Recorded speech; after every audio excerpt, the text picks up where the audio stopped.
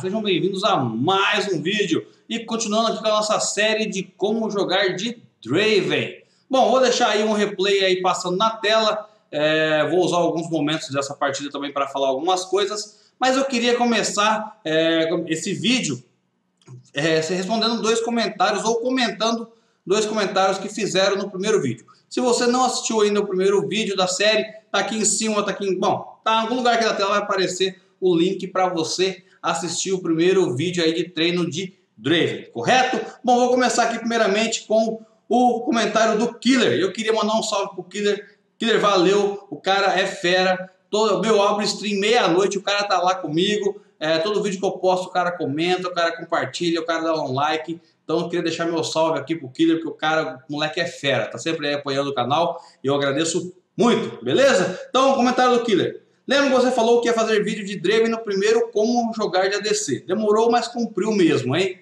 Pois é, demorei um pouquinho e não foi à toa. Por que, que eu demorei? Draven é Draven. Continuando, TK, é bom você não dar só last hit nos minions. Vai batendo neles para sacar mais rápido os machados.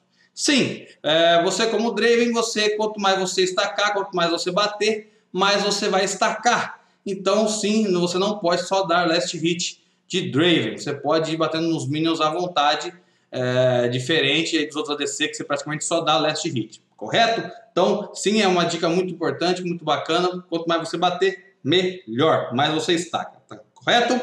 Maravilha, vamos então para o segundo comentário aqui que foi do Yuto Gamer. DK, enquanto estiver rodando os dois machados, dá para dar um hit antes de pegar o primeiro. E também dá para rodar três machados, porém é bem difícil requer muito treino. Só uma pequena correçãozinha, meu querido Yuto. É, machado só tem dois. O Draven só tem dois machados na mão e a skill fala que ele pode ter duas revoluções do machado rodando. O que acontece é, você tem bastante ataque speed e vai cair três machados. Ou seja, você vai bater o primeiro, é, vai bater o segundo, vai bater o terceiro e o primeiro ainda está caindo, de tanto, tanto ataque speed que você tem. Então, sim, é, dá para você ter três machados caindo, porém é bem complicado e por isso que eu recomendo vocês não fazerem item de ataque speed no começo para o Dragon, até que você se sinta confortável. Eu costumo fazer a famosa build é, de espada GPC. Eu pego tudo que tem espada GPC e faço para o Dragon, tá? eu recomendo bastante vocês no começo fazerem isso. Porque não adianta você fazer ataque speed se você não consegue pegar a revolução do machado na velocidade que você está batendo. Então, por isso que eu falo que é melhor você é, bater mais forte e menos vezes do que você ficar tentando bater um monte de vezes e perder todos os machados. Correto? Bom, eu queria agora trazer três momentos de, dessa partida. Eu acho que foi dessa partida. Bom, não, não tenho certeza se foi dessa partida. Bom, aí eu quase matei a, a bodega da Lazareta da, da Vene. Felizmente ela me deu um E ali, me empurrou para trás e lascou. Enfim. Bom, primeiro momento que eu queria comentar é esse que vai estar acontecendo agora aqui na mid lane. E o que que acontece? Meu, você pode ver aí que eu tô de humus e uma picareta. Eu não tenho crítico, não tenho é, nada ainda, ok? é, que é importante para o Draven, você fazer crítico. Mas aí tem uma Vayne, né, botando a cara ali para nós. E o que, que nós vamos fazer? Na verdade, nem eu acreditei que eu fiz, tá? A verdade é essa. Quando eu vi, eu falei, what? Enfim, olha lá, fique só vendo, que bonitinho. Toma pra lá e pô. velho, na hora que eu fiz isso, velho, nem eu acreditei que eu tenho essa porrada toda. Então, é... Tomem cuidado quando vocês estiverem perto de um Drave com baixa vida, velho. Porque nem crítico eu tinha aí. Era uma porrada só pro peãozinho ficar esperto. Tá ok? Bom, vamos pro segundo momento. Que foi aquilo que eu falei de treinar kite para trás. Estamos aqui batendo na torre, tranquilamente, sossegado. O jungle deles é um Rengar. Sabe como é que é Rengar? Ele lutou. E adivinha em quem que ele vai vir? Vai vir, logicamente, uma DC. E aí, é aquilo que eu falei de kaitar para trás você precisa aprender a kaitar para trás com o Grave, porque você precisa pegar o machado. Eu perdi, logicamente, um machado ali, já estava sem mana praticamente, mas é importante você conseguir bater e andar para trás com o Grave, que não é igual de qualquer The Carry, correto? Então, eu queria trazer esses dois momentos aí, referente àquilo que eu estava falando no primeiro treino, que foi de kaitar para frente e kaitar para trás com o Drake. Você precisa pegar o machado para poder dar dano. Então é uma mecânica que você tem que aprimorar, que você tem que aprender, porque senão hum, você não vai conseguir trazer todo o potencial do Draven para a partida, correto? E agora vamos definitivamente começar a segunda parte do treino. O que você vai fazer nessa? Outra personalizada.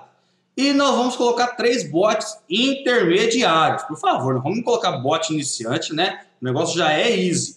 Então, por favor, então nós intermediários. Você vai colocar uma Caitlyn, um Jax e um Mastery.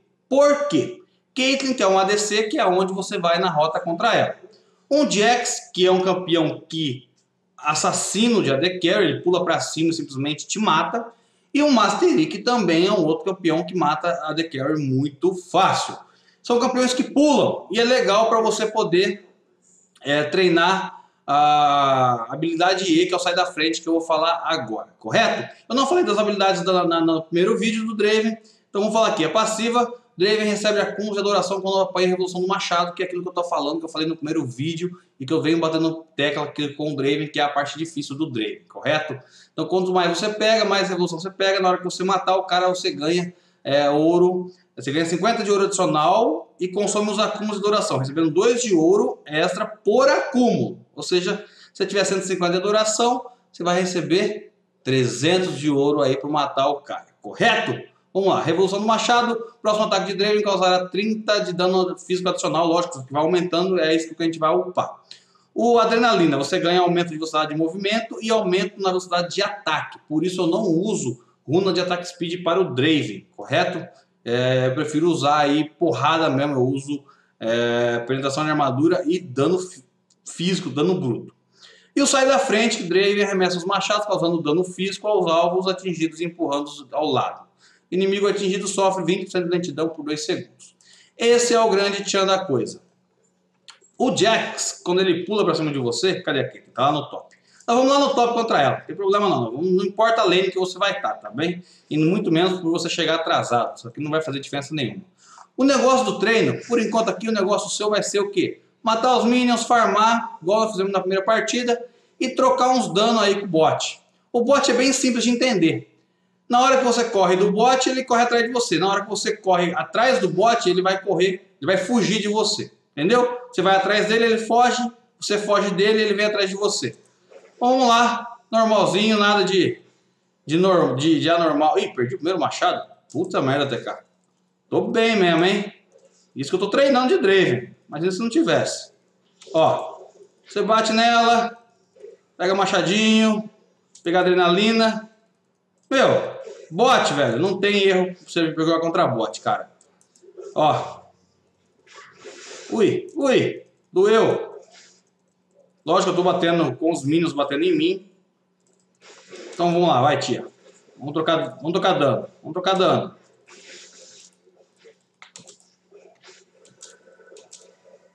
E se eu morrer aqui vai ficar feio pra mim, né? Tá bom, vamos recuar. Eu tomei tudo ali, os minions estavam atacando o minion. Bom, eu tô aqui só de roleplay, só zoando. O treino vai começar quando? Você não precisa se preocupar com as outras com as outras rotas, tá? Pode deixar o Master e o Jax levando tudo lá. Porque na hora que você chegar na terceira torre do, do top, no caso que eu tô no top, na hora que a gente chegar aqui, ó, na Tier 3, os três bots vão vir para cima de você para te pegar. É aí que vai começar o treino. Outra coisa, como a gente está aprendendo, então nós vamos fazer o quê? Ah, TK, vou destruir esses três bots. Não, você não vai destruir esses três bots, amiguinho. Por quê? Você só pode fazer espada GPC. Exatamente. Opa, deixa eu dar uma afastada aqui, deixa eu dar uma afastada. Ok. O que, que nós vamos fazer? Você só vai poder comprar a espada GPC e a bota de ataque speed, porque também ficar batendo igual um Palerma não dá muito certo. Então, o treino é esse. Você só pode fazer comprar a espada GPC por quê? Para você ficar batendo, trocar dano com, com, com o inimigo o máximo possível. Essa é a ideia do negócio. Não é você dar duas porradas no cara e matar, igual ela vai me matar aqui agora. Ai, ai, ai, filha da mãe, vai pra lá. A ideia é você ficar trocando dano.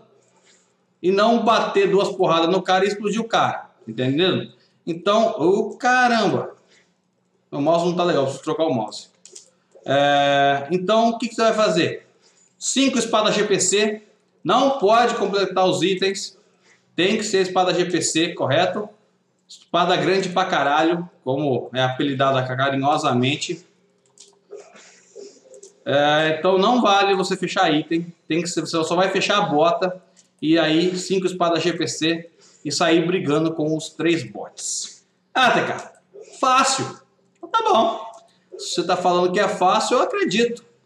Depois que vocês fizerem, se vocês realmente fizerem, vocês postam aí no comentário como que foi brigar com os três bots só com espada GPC. Certo? Eu não vou mostrar o final dessa partida. Ai. Ai, filha da mãe. Vai pra lá. Vai pra lá.